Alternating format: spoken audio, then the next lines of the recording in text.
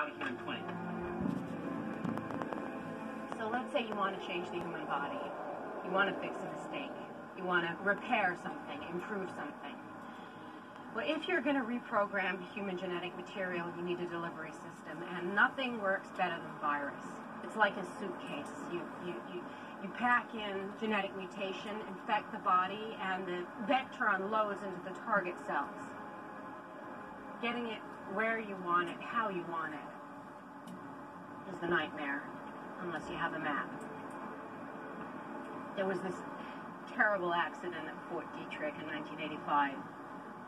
Five researchers dropped dead in the lab, and it was it was such a catastrophe that they brought in Dan Hillcott from Stanford to assess the damage.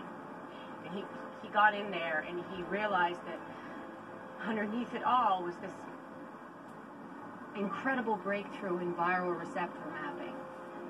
He had a map. You've had some very minor alterations made to two different chromosomes. The green side, the physical side, is nothing more than 1.5% rise in your mitochondrial protein uptake. But with 1.5%, you see this immediate increase in cellular tempo, muscle efficiency, oxygenation. The blue side.